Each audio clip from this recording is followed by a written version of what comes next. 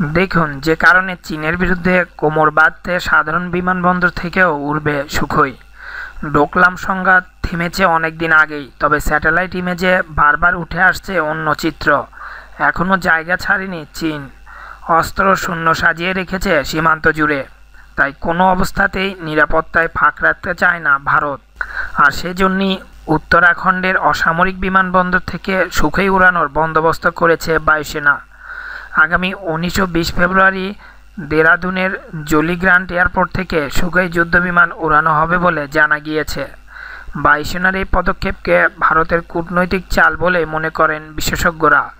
অদূর ভবিষ্যতে চীন যদি ভারতের ইকে এক পা ও এগোনোর চেষ্টা করছে, তাহলে ছেড়ে কথা বলবে না ভারত, আর তারও জোর প্রস্তুতি নিচ্ছে এয়ারফোর্স কারণ ডোকলামই প্রথম নয়, চীনের ঔদ্ধত্য আগেও দেখেছে ভারত। উত্তরাখণ্ডের আকাশে চক্কর কাটতে দেখা গিয়েছিল চীনের এয়ারক্রাফটকে।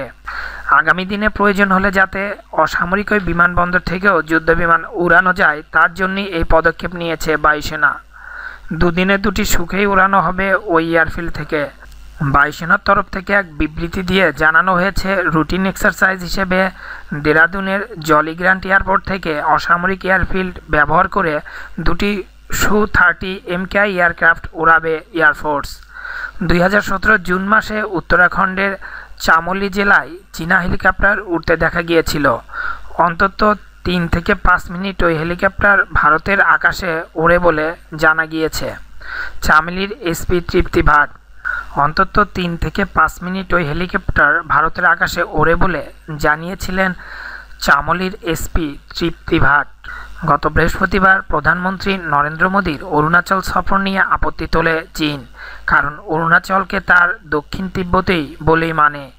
এই আপত্তিতে ভারত কূটনৈতিক স্তরে প্রতিবাদও জানিয়েছে। চীনের দাবি, তাদের দেশের সরকার কোনোদিনই অরুণাচল প্রদেশের অস্তিত্ব স্বীকার করে না। তাই বিতর্কিত অঞ্চলে কোনো ভারতীয় সেনা যাক, সেটা কখনোই চায় না বেইজিং।